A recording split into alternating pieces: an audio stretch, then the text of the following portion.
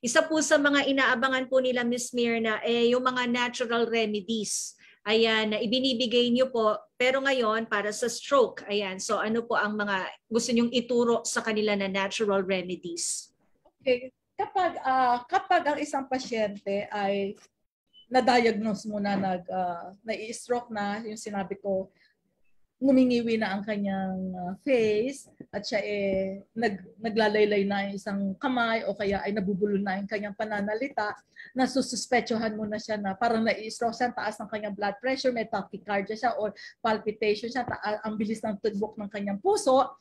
Kung ito ay ah, pasyente mo na nararamdaman mo na siya ay mukhang naaatake, no? parang na-stroke, ito nang gawin mo, TKM, uh, touch therapy, ito TKM, itong ating pinky, next. Itong ating ano, itong yung pinky finger mo hawakan ng yung left pinky finger hawakan ng right hand. Yung TKM yan, naku, patok na patok yan. Siguradong ito ay nakakaluwag ng daluyan ng dugo. Meron siyang effect, no?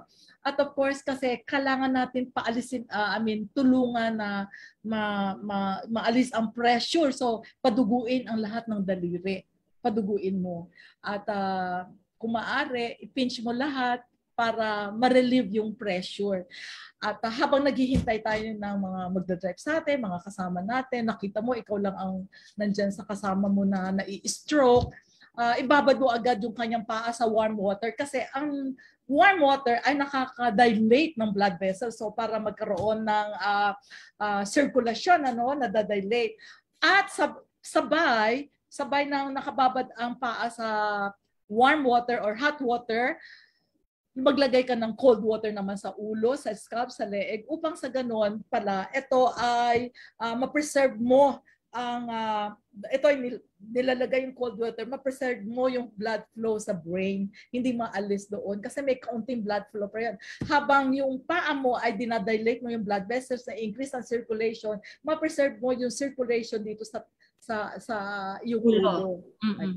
At maglalagay ka, yung iba naman naglalagay dito sa, sa leeg ng yellow or cold compress upang sa ganon ay mapababa ang blood pressure mo. Ang ating goal right away ay uh, ma ma-simulate ang circulation, ma-release yung pressure. Yan ang ating immediate emergency na dapat na gawin.